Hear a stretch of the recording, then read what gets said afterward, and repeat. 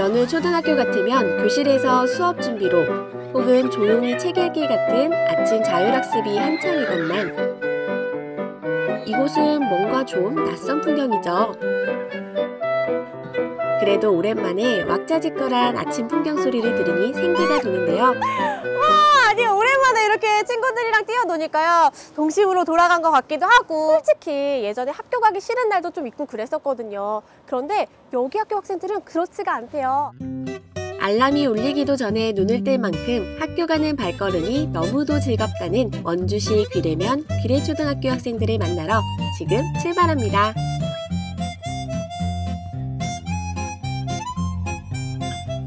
삼삼오오 모여 학교 버스를 기다리는 아이들.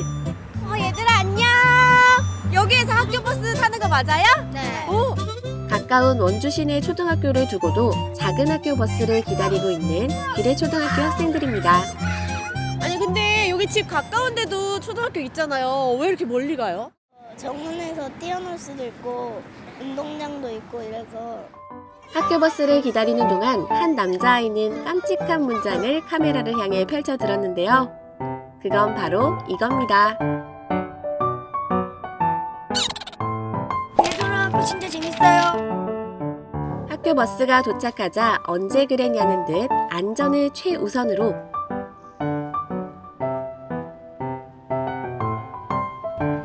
안전 도우미 선생님의 인솔에 따라 원주 시내 곳곳에서 아이들이 학교 버스에 오릅니다.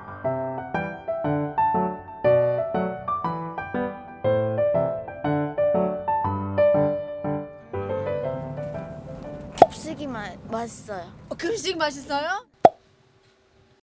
카메라를 향해 천방지축 개구쟁이 모습으로 학교 가는 길이 지루할 새 없이 즐겁게 해주는 해맑은 아이들이더라고요.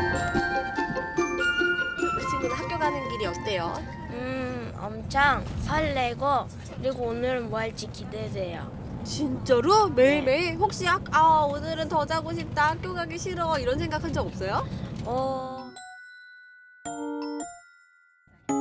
자동차 전용 도로로 가는 만큼 시간은 그리 오래 걸리지 않더라고요. 귀래면이라는 시골 마을에 위치한 작은 학교인 귀래초등학교. 아이들이 얼마나 학교가 좋은지 학교 버스에서 내리자마자 뛰어서 교실로 향하지 뭐예요.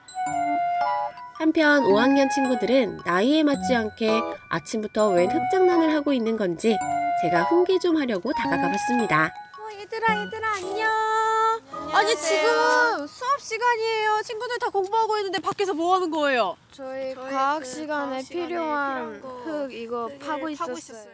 흙에 산성인지 염기성인지 막 이런 거를 자연과 더불어 함께하는 학교다 보니 수업도 자연스레 자연과 연계가 이루어지는 건 당연했더라고요. 인지 연기성인지 흙을 직접 해가지고 알아보는 거구나 네. 재밌겠다 근데 이런 실제적인 체험 학습 같은 걸 많이 하나 봐요 학교에서 네, 많이 하는 편이에요. 오.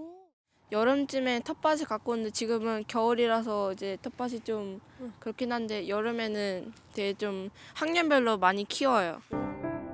정원이 무척 아름답기로 소문난 학교가 바로 귀래 초등학교였는데요. 게다가 부모님도 함께 주말 텃밭으로 가꿔서 그야말로 학생과 학부모, 선생님이 함께 만들어가는 학교였습니다. 이렇게 대한민국에서 정원이 이렇게 크고 아름다운 학교는 아마 저희 학교가 단연코 어, 최상이라고 할 수 있을 거고요. 이런 아름다운 자연에서 뛰어노는 우리 아이들은 천국에 있는 천사들이라고 저는 표현을 하고 싶습니다.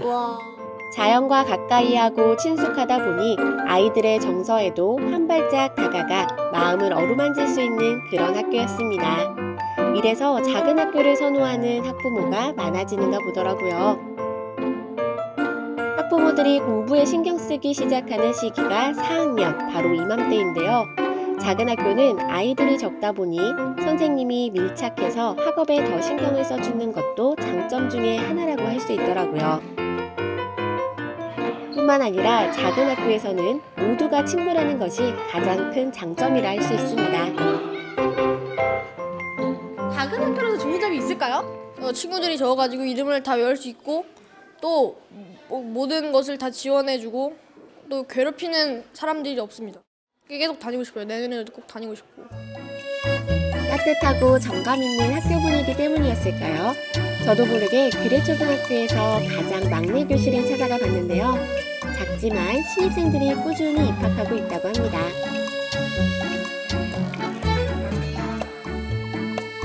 아파트라든지 마을을 돌면서 선생님들이 직접 전단지를 붙이기도 하고요. 저희 학교에 현수막을 걸기도 하였습니다. 그래서 어, 올해 1학년도 원주시에서 3명의 어린이가 아, 지금 본교에 들어와서 같이 생활을 하고 있습니다. 이곳은 원주시 치약체육관. 초등학교 신입생을 유치하기 위해 원주시의 작은 학교들이 한자리에 모여 입학 설명회를 마련한 자리였습니다. 저희가 작은 학교의 경우는 주소지 이전 없이 전학을 할 수 있도록 열어놨습니다. 강원특별자치도에 있는 작은 학교는 교육과정을 좀 특성화해서 운영하실 수 있도록 저희가 많은 지원을 하고 있거든요. 부모님들이 여러 학교의 정보를 한꺼번에 얻으실 수 있을 것 같아서 이런 행사를 준비하게 됐습니다. 오늘 이 작은 학교 입학 설명회를 위해서 이 금대초등학교에서도 많이 준비를 하신 것 같아요. 알찬 프로그램 속에 아이들이 사회성도 같이 키울 수 있으니까 어, 숫자가 너무 적다고 걱정되지 않을까 이런 게 제일 큰 고민이 있을 텐데 그런 걱정하지 마시고 오셔서 상담 받으시고 들의 이렇게 생활하는 모습을 사진을 찍어서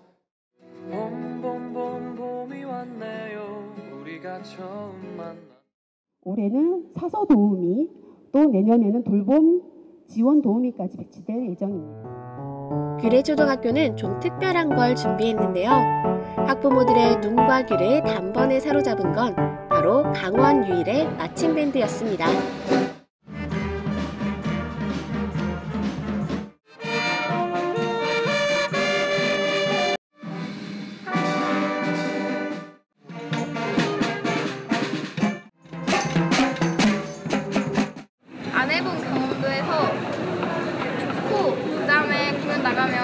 사람들한테 박수도 더 많이 받아가지고 재밌고 악기를 소리 내는 것도 힘들고 해서 좀 싫어하는 친구들이 있었는데 이제는 공연도 많이 다니고 대회 준비를 하면서 학생들이 실력도 높아지고 또 무대에 서면서 학생들이 점점 자신감이 높아지는 것 같아요. 이제는 학생들이 모두 즐기면서 재미있게 참여하는 것 같습니다.